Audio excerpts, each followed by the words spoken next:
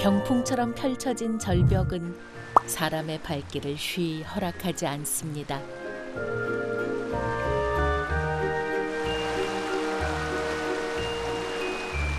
때문에 정선 사람들은 험한 산길 대신 물길을 이용했는데요. 이맘때면 강에서 보내는 시간이 많은 용화 씨는 뱃사공이 된다고 합니다. 평일날은 한 10번. 그리고 주말에는 한 20번. 한철이에요. 그러니까 이 할미꽃 피는 시즌에 이렇게 한 2주 정도요?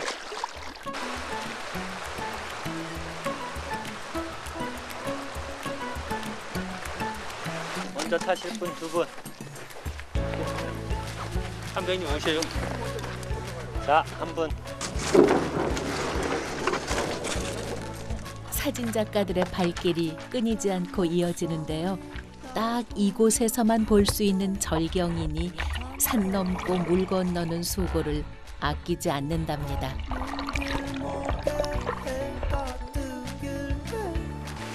여기 절벽 보시면 할미꽃들이 쭉 있죠? 네. 이렇게. 어, 저 봐. 어, 저 바위 틈에 있는 게 그렇게 이뻐, 희한하게. 사람들의 손이 못 가는 곳이니까 군락이 좀 잘 보존된다는 그렇죠. 동강 할미꽃은 오직 우리나라 동강 일대에서만 볼 수 있는 토종 봄꽃인데요. 꼬부랑이 할머니 저기 뭐 산소에만 있는 줄 알았더니 이렇게 바위에 있다는 걸 처음 봤어요. 칼날 같은 절벽 바위 틈에 뿌리 내리는 동강 할미꽃. 햇빛을 조금이라도 더 보기 위해 다른 할미꽃과 달리 꼿꼿하게 하늘을 바라보고 있습니다.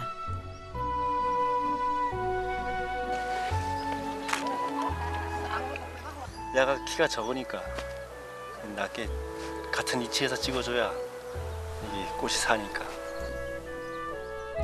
척박한 환경이지만 강한 생명력으로 피어나는 한 송이.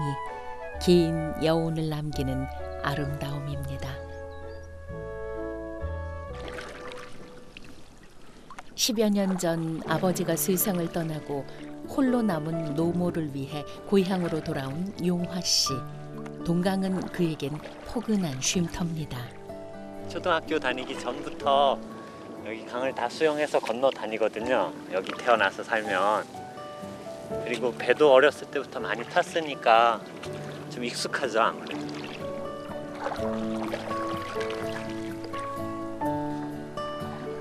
시간도 느리게 갈 것 같은 이름 거북이 마을. 사람들이 떠나가고 이제 마을에는 용화 씨 가족만 남았습니다.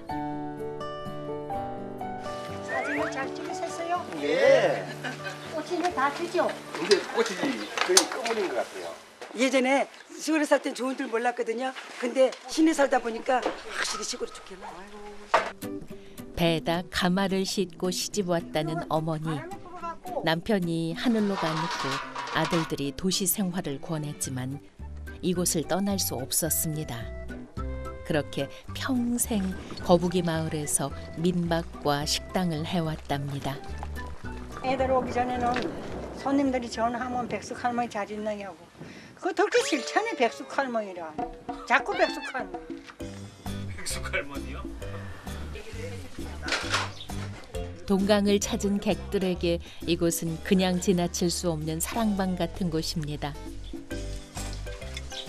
그 할머니 꽃이 뭐가 이쁘다고 우리 사진 찍고. 손님들이 할미꽃 보러 오는 거예요? 할머니 보러 오는 거예요?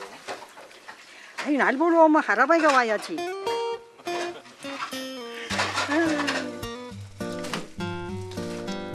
이젠 둘째 아들 용회 씨가 어머니 대신 주방을 맡았습니다.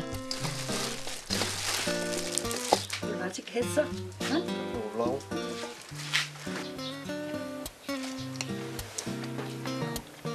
좀 싱거운데. 좀 싱거워야 돼 그럼 그럼 됐어 싱겁다고.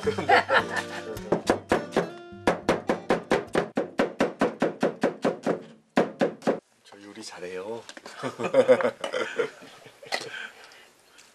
대학교 때 조리를 요리를 전공했어요 대학교 때도 요리를 했고 직장 생활도 음식을 한 10 몇 년 했죠. 호텔 중식당에서 일할 만큼 솜씨가 대단했지만 결국은 어머니 곁을 지키기로 했습니다. 대를 이으니 맛은 깊어질 수밖에요. 때문에 매해 잊지 않고 들르는 이들도 있을 정도. 괜찮아. 아. 늙지를 않으셨어. 10년 전이나 지금이나 한결 같으세요. 되려 그 아드님들 두 분이 예, 자꾸 이제 어, 어, 머니를 자꾸 닮아가는 것 같아가지고 사람들로 북적이는 건 잠시뿐 평소엔 한가롭기만 한 거북이 마을. 그대로 금방 올 거야. 형제가 사이좋게 나들이에 나섰습니다. 저는 꽃 따러 가는 거고 동생은 캐러 가는 거예요. 한 배에서 나왔지만 성격은 영 딴판. 형은 꽃을 좋아합니다. 산동백꽃이라고도 하고요. 표준어로는 생강나무꽃. 생강처럼 약간 매캐한 향이 난다고 해서 김유정 소설가가 쓴 동백꽃이라는 소설 거기 나오는 동백꽃이 이 꽃이에요. 아 빨간 동백꽃 아니었어요? 그러니까 김유정 씨도 강원도 춘천 분이시니까 매캐하고 알싸한 노란 동백꽃 향기 그게 요 꽃의 향기예요. 달달한데. 예, 사랑의 향기죠.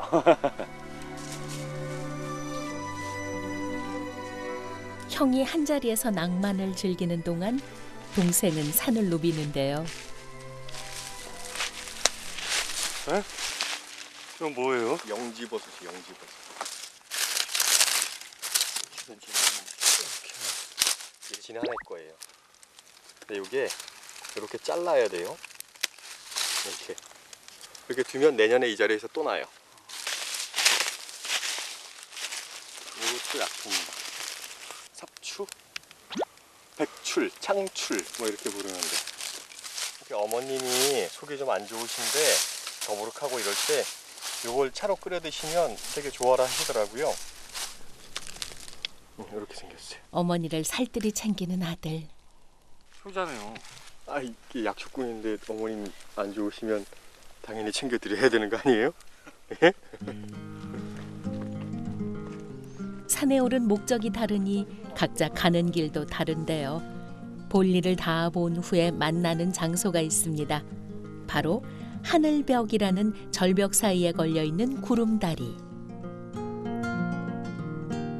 다리 아래 굽이치는 동강과 아찔한 능선. 매번 보아도 질리지 않는 풍경입니다. 강이 있고 산이 있어서 좋아요. 저는 거기서 찾을 수 있는 거 할 수 있는 일들이 너무 많거든요. 거기서 주는 즐거움도 많고 굳이 뭐 어디 있느냐라기보다는 그 사람이 어떤 역할을 하는가 그런 게 더 중요한 것 같아요. 이 자연이 주는 뭐랄까요 평화로움, 여유로움 그런 것들을 누리면서 살 수 있으니까요. 어머니의 품처럼 아늑한 동강. 형제는 그 품에서 소박한 행복에 만족하며 살아갑니다.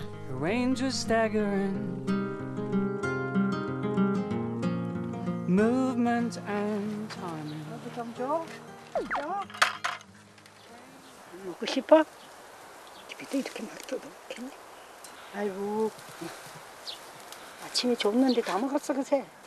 굳이 아무것도 다 잘 먹을까 토끼는. 토끼 좋아하시나 봐요 어머니. 아이고 아들님이 갖다 놨으니. 아 어머니가 갖다 주신 거 아니에요? 아이고 하나 갖다 놔. 갖다 놓기는 참. 두 마리만 가져온다 하더만 네 마리를 가져와가지고. 어머니는 여유 만만인 두 아들이 좀 탐탁치 않은데요. 오늘도 둘째 용휴 씨가 어머니의 눈을 피해 자신만의 아지트로 향합니다. 제가 이러고 있으니까 어머님이 맨날 뭐라 그러시죠. 어머님은 공상 떤다 그러죠. 골방에 박혀가지고.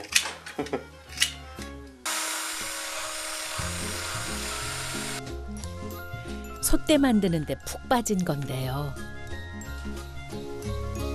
이놈을 만드는 거. 솥대라 그러면 원래 마을 입구나 밖에 많이 세워요. 근데 저는 이걸 작게 소품처럼 만들어서 집안에 드릴 생각으로 접근을 했어요. 산에서 가져온 재료로 만드는 다양한 솥대. 한 번 만들기 시작하면 시간 가는 줄 모른답니다. 어, 오셨어요? 네, 야단 치러 왔어, 강연가로. 잘한다고. 역시 어머니는 마음에 안 드는 눈치. 아까 받은 거예요? 그런 식으로. 아이고 이거 못하게 하다 하다. 조금만 하면 폐기 나지 이제 폐면 이제는 뭐 힘이 모자라서 뭐 패지도 못하지. 두 아들이 도시의 삶을 포기한다 했을 때 걱정이 많았습니다. 이제 소원은 두 아들의 결혼이라는데요. 야 감자도 넣어. 싫어, 싫어. 감자 넣어. 싫어. 너무 맛있다고. 하나 넣어. 안 넣어, 안 넣어, 안 넣어.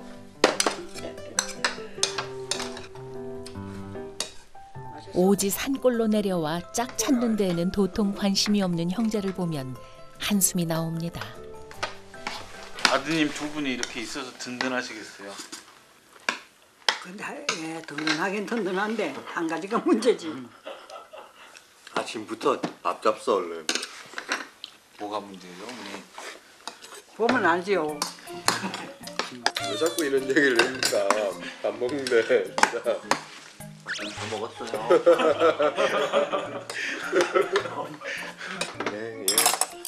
잡숴. 나 도망가겠지? 독상이 되어버렸는데요?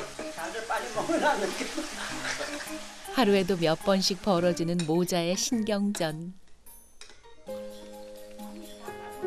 꽃을 좋아하는 형 용화 씨는 자연스레 꽃차 만드는 데도 관심을 갖게 됐습니다.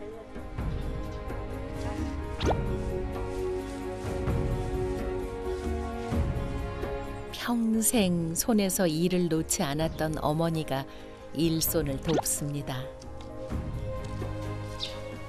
목련이 핀 것처럼 그런 모양으로 꽃을 말려내요. 그러면 왜 찻잔에 딱 넣으면 꽃 한 송이가 핀 모습으로 딱 차가 만들어지겠죠. 향과 맛은 물론 모양까지 생각해야 하니 손이 많이 가는 작업입니다. 어머니 이거 하고 계시면 재밌죠? 아 재밌기는 뭐 재밌어 추워서 얼어 죽겠는데 손이 막 시린데 일당 많이 받으셔야 되겠는데요? 밤에는 그냥 서비스 해주고 낮에만 받지. 말씀은 투박하지만 꽃 다루는 손길은 조심스럽습니다. 아들이 좋아하는 꽃이니까요.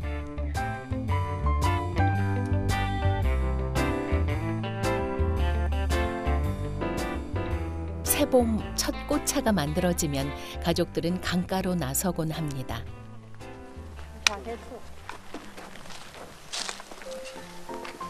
이쁜 거. 좋아요 좋아. 좋아 좋아.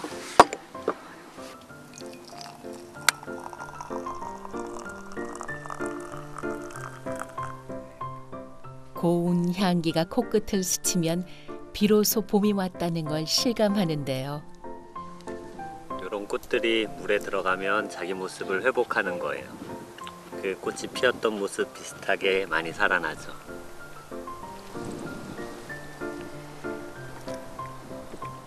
아주 기가 막히네. 동강을 마당 삼아 올해도 어김없이 향긋한 봄맞이를 했습니다. 당분간은 계속 있을 거예요. 이 우축이라는 게 언제까지일지 모르겠지만 앞으로 한 10년 정도는 여기 계속 있겠죠. 그렇게 안 좋다고요. 만날이 있다만큼만 봐야지 좋지. 만날 보니. 아들들 두 분이 잘하셔야겠어요. 네. 대답은 잘해. 너도 말해봐. 서로를 아끼는 따스한 마음이 있어 더 아름다운 동강의 봄날입니다.